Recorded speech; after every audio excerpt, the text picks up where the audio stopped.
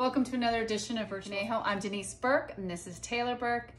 Um, we are going to be making monkey bread. We've made this at camp before and it's a, a fun treat for the whole family.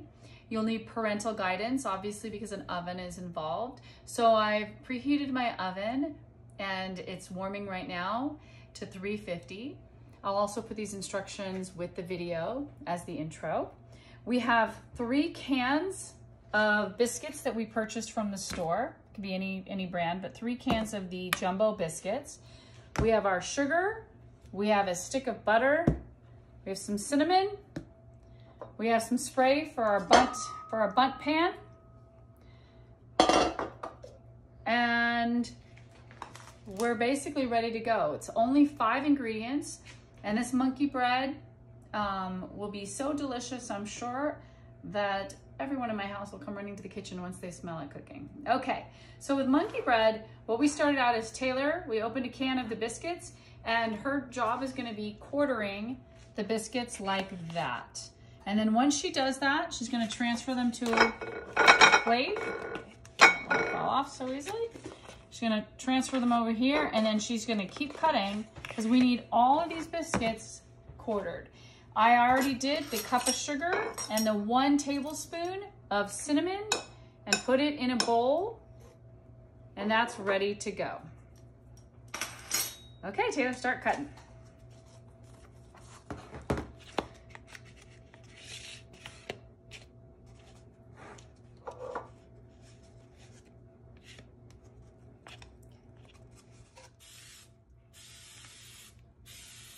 It's important to have a very well greased Bundt pan. So spraying it down really well with this Mazola spray We'll make sure it doesn't stick to the pan.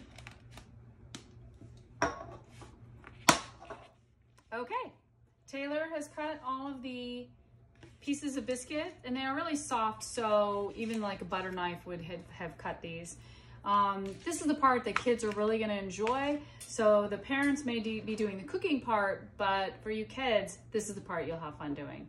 So you take your well-greased Bundt pan and Taylor now has everything set up. So what she's gonna do is she's gonna take the piece of biscuit and her job, which would be your job at home, is to take your biscuit, coat it really well in this, um, this cinnamon sugar mixture and just set it in there. And she's gonna do that with every single piece and fill, she's gonna fill this Bundt pan with those. I have a, a kind of a large Bundt pan, so I, if I need to add more biscuits, luckily I have another can or two in my fridge, I think. Okay, so Taylor's gonna go ahead and do that while I go to the next part. And this is where you need um, an older teenager or or if you're an older teenager and you have permission to use your stove, that's fine, or a parent or guardian. And that is the saucepan on the stove part with the brown sugar and butter. I'm gonna demonstrate that for you next. And again, doesn't have to go, the whole idea is the monkey bread, you're gonna put it all in there, just kind of like stuff it all in. It's not about perfection because it's supposed to all just kind of glom together once it bakes. Okay, follow me over to the stove for the next part.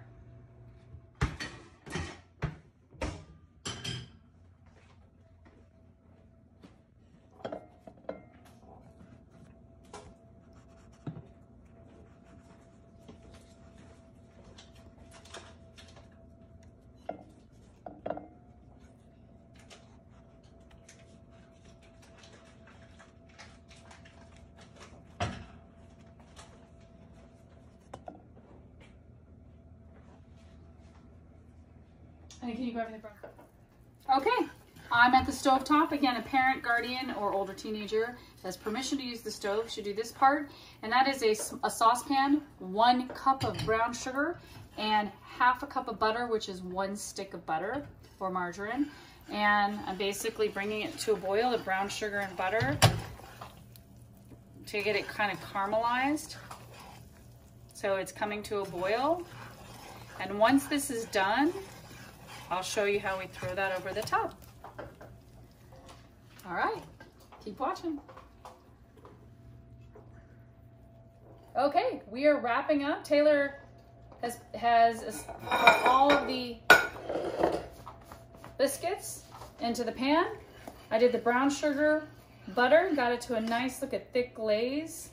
It's nice and uh, kind of all created like a caramely caramely glaze. Doesn't that look beautiful? And now we just pour this over the top.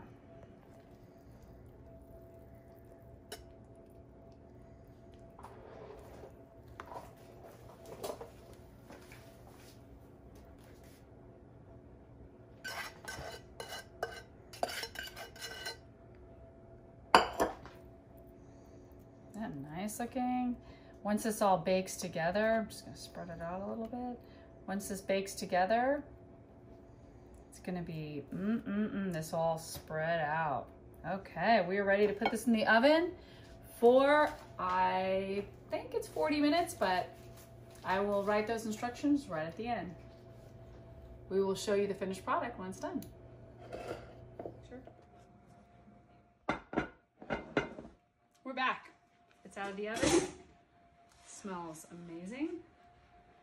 We are going to hope that we, um, oh, we're going to leave that on.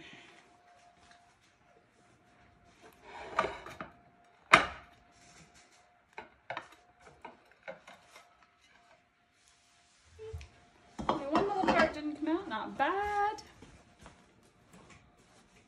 You can fix that. Hold on.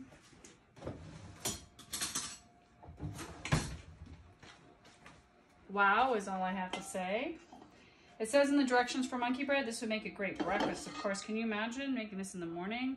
Everybody wakes up. So I greased it pretty well, but I'm just gonna fit that piece in. Mmm. Oh my gosh. This is amazing. Amazing.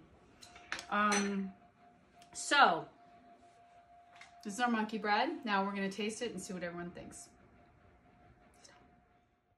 Okay. Our monkey bread came out. We cooked it for 40 minutes. Um, the directions said 35 to 40 minutes, so it depends on your oven. So we, we baked it for 40 minutes. Um, we also found that we did a, a, double batch of the glaze, the brown sugar butter, because this was a kind of a large pan, um, but um, that's personal preference, of course. The brown sugar glaze is amazing.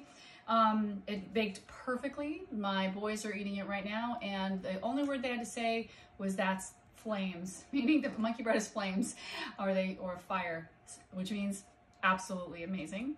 Um, this would be a great, great activity in the morning to have this for breakfast. It'll get everyone out of bed for sure. The smell of it, the taste of it.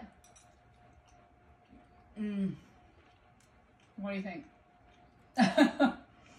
Is this one of your favorite activities so far? I think monkey bread. Mm. I think it tops our list of um, so far our favorite workshop. So enjoy making monkey bread. Would love to hear about how you enjoyed it. Um, wow, we're just gonna keep eating. So thank you so much for joining us for another edition of Virtual Camp Conejo. And um, thank you for tuning in. See you next time. Um, another variation on the monkey bread is you can make it for breakfast. We're having it for dessert at night. Um, but you can make it for breakfast and you can make it like a French toast. After you slice the monkey bread, you basically have the most decadent French toast ever. Add some syrup and voila, an amazing French toast for your kids. So just another variation. And um, another variation is at night, you can make monkey bread sundae and put a slice of monkey bread along with your favorite ice cream and some toppings. So again, you can have lots of uses for delicious monkey bread.